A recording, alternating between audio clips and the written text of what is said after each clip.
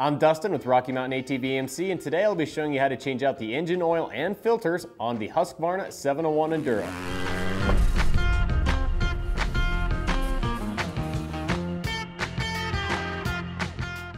Keeping up on your oil changes not only helps you to keep your bike in great shape, but it also helps to prevent the potential for future problems down the road.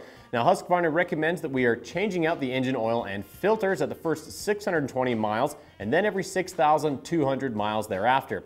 So today we'll be showing you how to change out the engine oil, engine oil filters, and clean the oil screens on the Husqvarna 701 Enduro. Now keep in mind that these same exact steps can also be applied to the Husqvarna 701 Supermoto.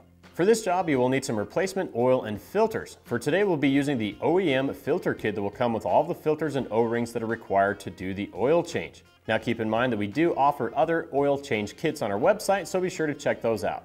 And as always, before performing any work on your bike, always be sure to reference your service manual for safety information, proper procedures, and torque specs. We're going to start by removing the engine guard or skid plate.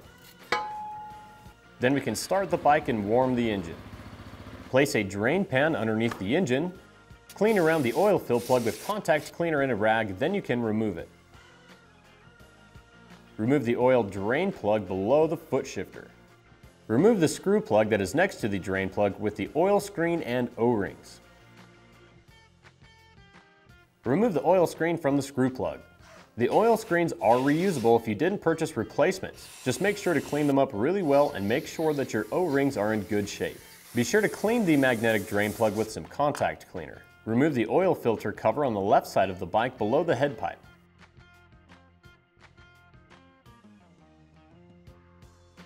Then remove the oil filter. Remove oil filter cover on the right side of the bike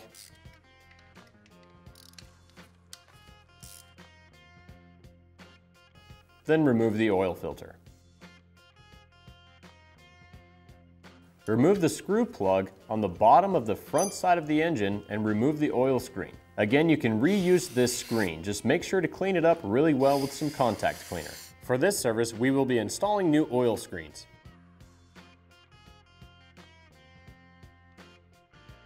Once oil has completely drained, install the oil screens, push the oil screen all the way into the engine's case. Then mount and tighten the screw plugs with new O-rings. You will torque these to 11.1 foot-pounds. Repeat this process for the other oil screen and screw plug.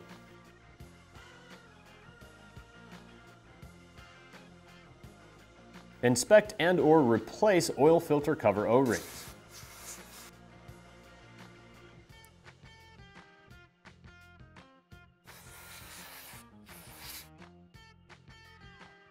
Next, insert new oil filters into the engine Keep in mind that the oil filters are different lengths. The longer oil filter will be inserted into the left side of the engine and the shorter one will be inserted into the right side of the engine.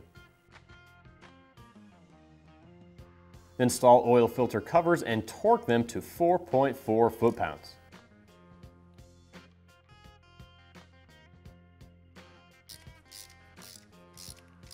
Next, install the drain plug with a new crush washer and torque to 14.8 foot-pounds.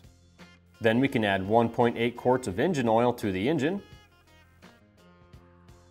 And watch the sight glass with the bike in an upright and level position. When oil reaches the center of the sight glass, stop filling. Reinstall the fill plug, then start the engine and let it idle for a couple of minutes. Turn the engine off, wait one minute, then check the engine oil level with the bike in an upright, level position. Add or remove oil as necessary. Then clean off any residual oil from the engine. Lastly, we can reinstall the engine guard or skid plate. All right, and that's all there is to it. Now, keeping up on your engine oil and filter will definitely help you to keep your bike in great shape. Now, if you like this video and you want to see more, make sure to hit the like button, then subscribe to our YouTube channel for more product spotlights, how-tos, and top fives. I'm Dustin with Rocky Mountain. Thanks for watching, and keep the wrenches turning.